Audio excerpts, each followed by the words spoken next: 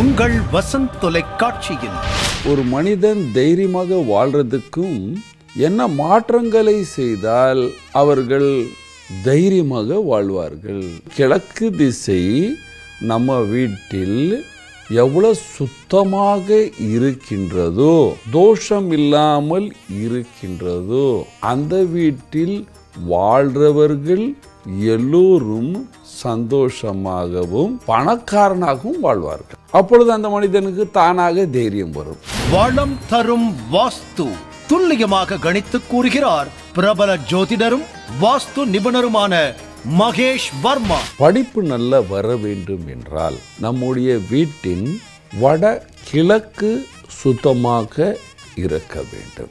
வடகிழக்கு ஒரு மனிதனுடைய மூளை. கிழக்கு திசையை நோக்கி உட்கார்ந்து உங்க பசங்க படித்தால் ஐஏஎஸ் ஆபீசராக வருவாங்க வளம் தரும் வாஸ்து. வரும் வியாழக்கிழமை காலை ஏழு முப்பது மணிக்கு காணத் தவறாதீர்கள்.